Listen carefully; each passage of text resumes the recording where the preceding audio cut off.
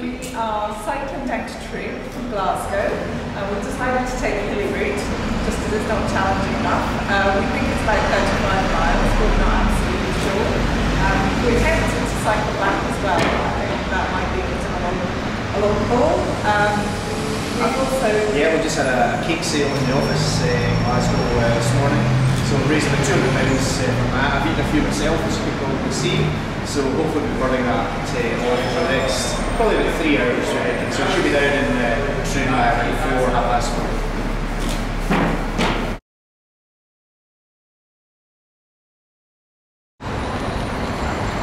Good luck, guys.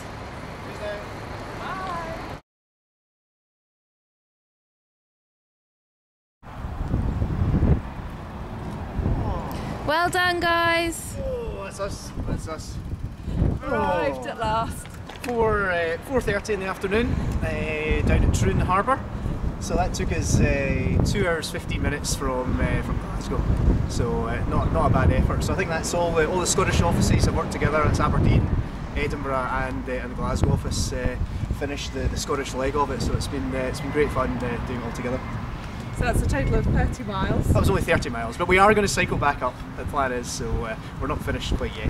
And it's good to know that we're doing something for charity as well Yeah, along yeah. the way. So we've, we've really enjoyed it. So that's, that's Virginia. That's Virginia and Campbell for the capital markets team in Glasgow. Bye. Bye.